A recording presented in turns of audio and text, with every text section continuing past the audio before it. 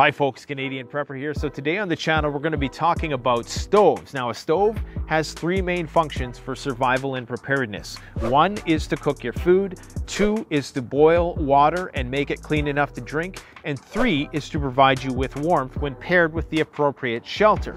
Now there's four different types of stoves. These are the main types of stoves we're gonna talk about today. We have our solid fuel stoves, we have our liquid fuel stoves, multi-fuel, we have our gas powered stoves, and then we also have our natural materials or wood burning stoves. Now there's a variety of other stoves you don't see here from thermoelectric to uh, alcohol based to rocket stoves, you name it. There's a lot of stoves on the market. These are the four most commonly used and most popular. We're gonna talk about which situations you would use each of these in because the applications range from short-term day trip use to long-term, even indefinite use in the wilderness. So let's talk about that today.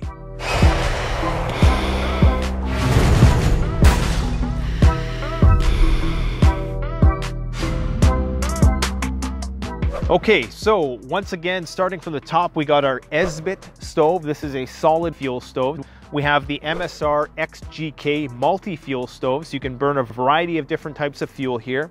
We have our MSR Windburner stove, which is a isobutane stove. Then we also have our Firebox wood burning stove. Okay, so let's talk about the pros and cons of each of these. Now, over here on your right, we have the Esbit stove. So this burns these solid uh, cubes that you see here. And uh, one of the benefits of this stove is that it is very packable. It's portable and it's very lightweight and it's very inexpensive. So you can see it packs flat and you can put several of these cubes inside here. And it just pops open like that.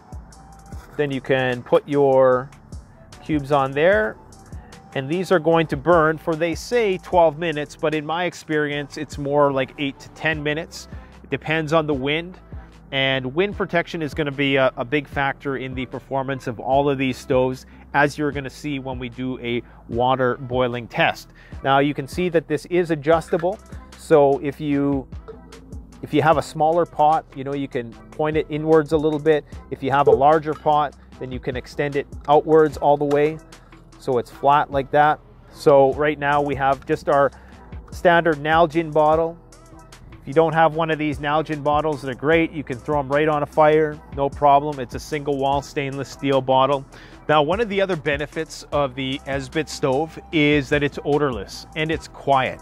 In an emergency situation where you are worried about security and you didn't want to draw a lot of attention to yourself, those two things are going to be very, very important because some of these stoves can actually be quite loud.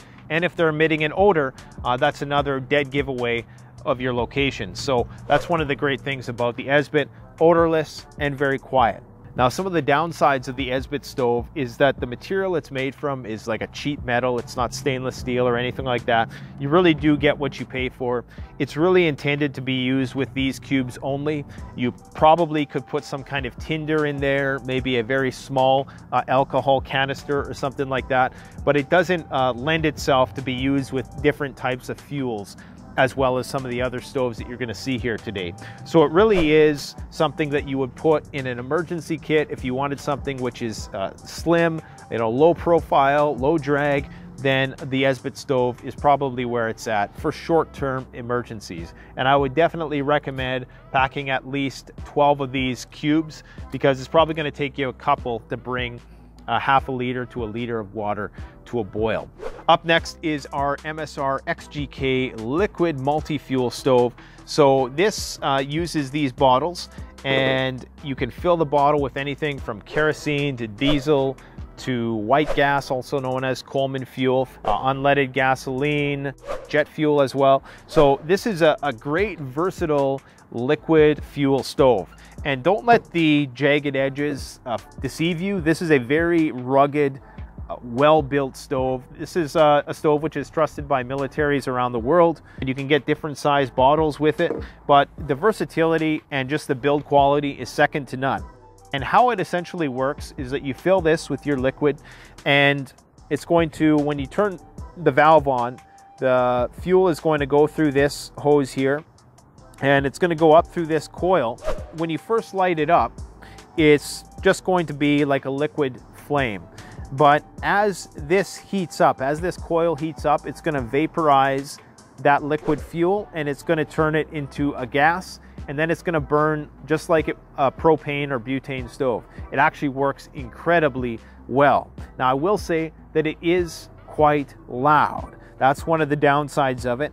And I would liken it to if you were sitting next to a river, fast moving body of water, it can be pretty loud. Not loud in the sense that you're going to necessarily attract attention beyond 50 to 100 feet even, uh, but in the sense that it's going to uh, dull your own senses.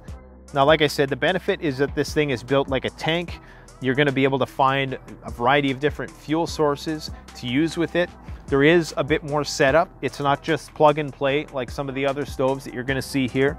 But uh, I would say that this would be something which would be suited to a long-term situation, an emergency, particularly in an urban environment where you're going to have access to those different types of fuel.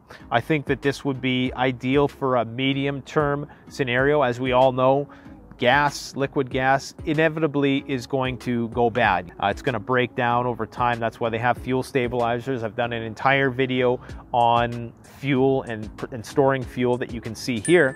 But that's going to be my only concern for the long, long term. This would not be my Mad Max stove of choice, but it would be my intermediate, you know, maybe there was a disaster which forced us to evacuate a region for a few weeks. I think that would be, this would be an ideal situation for that.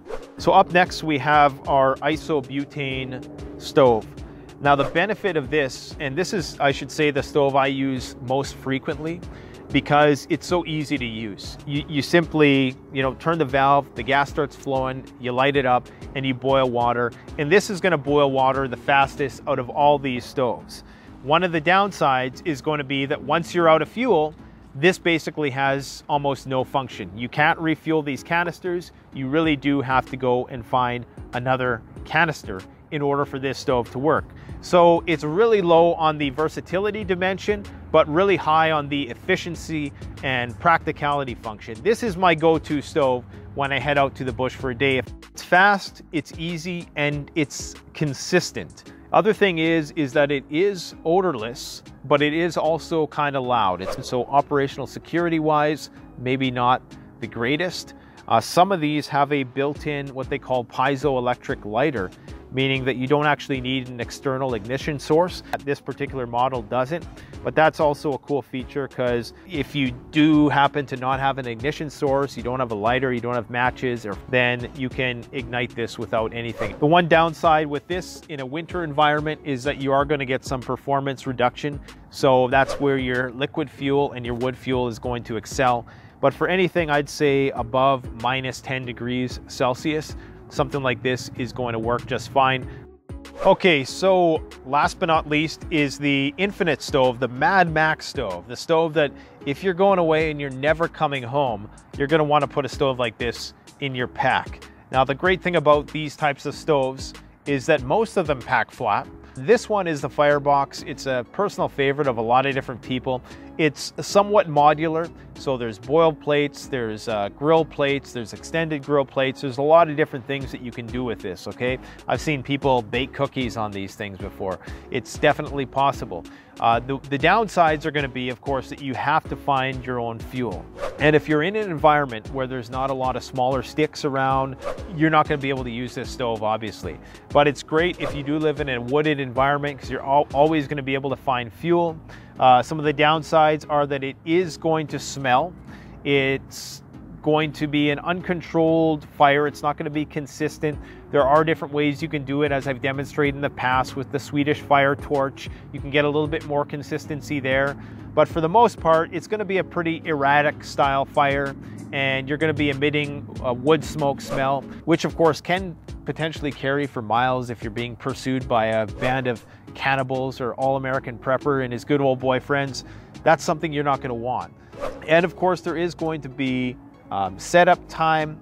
There's going to be a lot of soot involved, so your hands might get a little bit dirty.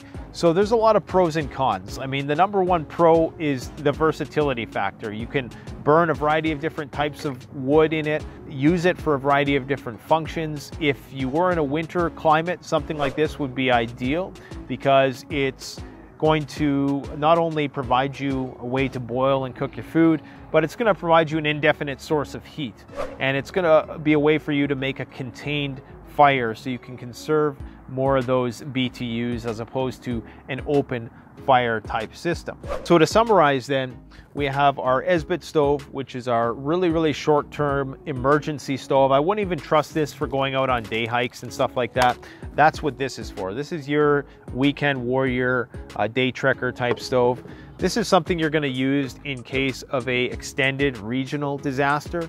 This is something you use for a national disaster. In terms of price, this is the least expensive. This is the second least expensive. This is the third expensive, and this is the most expensive. Now, in terms of the fuel cost, ultimately the fuel cost of this is going to be cheapest because you can use diesel, you can use kerosene, and those fuels are going to be relatively cheap compared to something like this where it might cost you 10 bucks for a propane canister like this, even though it's going to last you quite a while. You're not going to have any cost of fuel here, but you're going to have to do the work. And that shouldn't be understated because it is going to take a, a, a, bit of work to do this, and you are also going to have to maintain the fire. Some people don't mind doing that, but uh, myself personally, I have a lot of things that I'm usually doing when I'm out in the wilderness, and I just like the set it and forget it aspect of uh, the isobutane wood stoves or something like this. So let's turn these stoves on and let's see what they can do.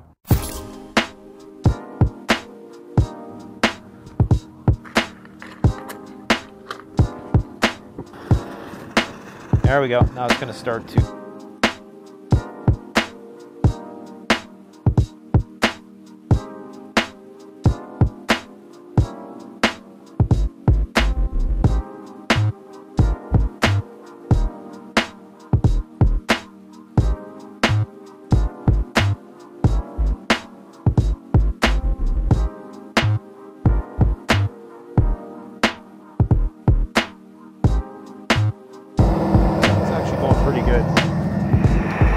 this one's already almost boiling.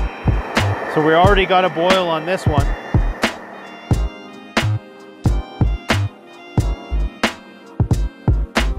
Uh, they're all kind of at the same pace. This one requires constant, constant attention.